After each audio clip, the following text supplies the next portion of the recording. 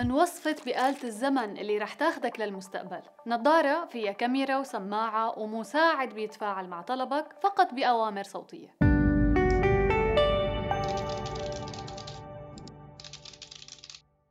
شركة ميتا أطلقت قبل كم يوم نظارة أوريون اللي بتضم مزايا كتير. الخطة بهي الخطوة من الشركة هي إنشاء منصة حوسبة جديدة للمستهلكين بعد اللابتوبات والموبايلات. هاي النظارة فيها تعرض مقاطع فيديو أو شاشات أو حتى أشخاص على شكل صور ثلاثية الأبعاد من دون ما حتى يستخدم الشخص خوذة للعزل.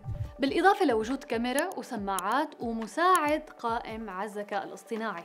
رئيس شركة ميتا لفيسبوك وإنستغرام مارك زوكربيرغ قال إنه هي النظارة رح تكون بتشبه آلة سفر عبر الزمن. لأنها رح توفر لمحة عن المستقبل اللي كلنا متحمسين نعرف كيف رح يكون شكله. النظارة الثورية هي بتاخد أوامر بالإيماءات الصوتية واليدوية وممكن الأفكار كمان. هذا الشيء عبر أجهزة استشعار دقيقة بترصد حركة العين والإيد. كون هاي النظارة بيجي مع أسوارة كهربائية لاسلكية بيتم تثبيتها بالإيد ليتم متابعة الحركة ونقلها للنظارة.